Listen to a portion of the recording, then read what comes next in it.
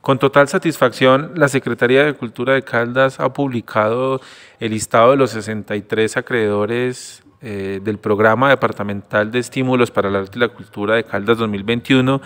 que para esta versión en ocho áreas artísticas y cuatro líneas estratégicas entrega una bolsa eh, de 415 millones de pesos que se convierte en la máxima premiación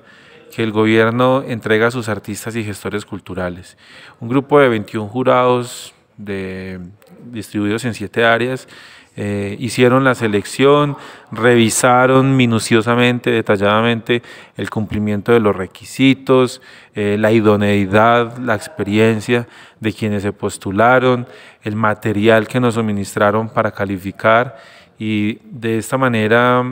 eh, felicitamos a los 63 ganadores que hacen parte del programa de estímulos y que pues disfruten de su premio.